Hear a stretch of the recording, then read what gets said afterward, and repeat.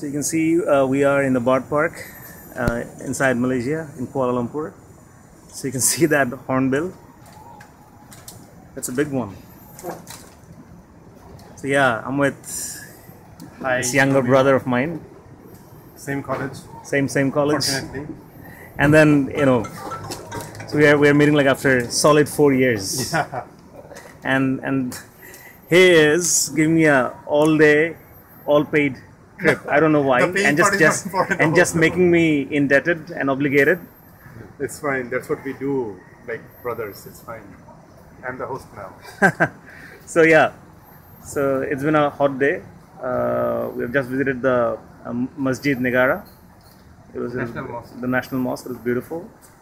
Humongous. It's humongous. It's uh, right now it's four o'clock, so it's uh, we're having late lunch. But it's it's it's it's a pretty place. So you can uh, see the birds, uh, you know, walking and flying out in the open. It's it's super. Yep. There you go. The hornbill again.